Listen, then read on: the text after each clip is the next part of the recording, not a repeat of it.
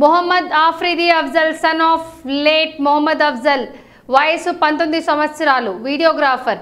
Flat number నుండి నూట డెబ్బై మూడు మెడిస్కోప్ హాస్పిటల్ సమీపంలో king colony Shastripuram Mailardevpally Hussaini Alam Charminar Chandrayangutta మరియు మైలార్దేవిపల్లి పిఎస్ పరిమితుల పరిమితిలో ఆరు ద్విచక్ర వాహనాలను దొంగలించాడు. డిసెంబర్ మే కంప్లైంట్ మహమ్మద్ అక్బర్ वो उनका गाड़ी महाराजा फ़ंक्शन हॉल में वो कोई चोरी करा बोल के कंप्लेंट करे हुसैन आलम के इसके बारे में अ, वे- ये इन्वेस्टिगेशन चल रहा। बीच में उनका नाम पे एक चालान आया।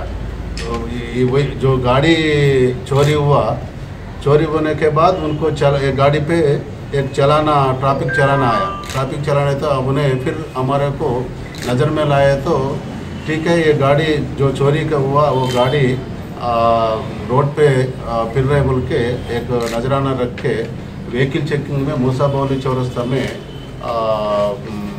रात में गए सो रात में डी ए श्रीनिवासराव एंड इस पार्टी व्हीकल चेकिंग में गाड़ी को ऑब्ज़र्व करा।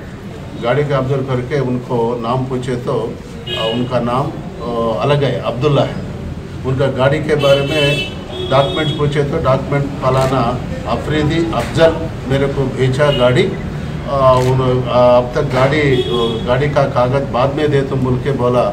आ, उनके द्वारा ये जो चोरी करे उसको पकड़े।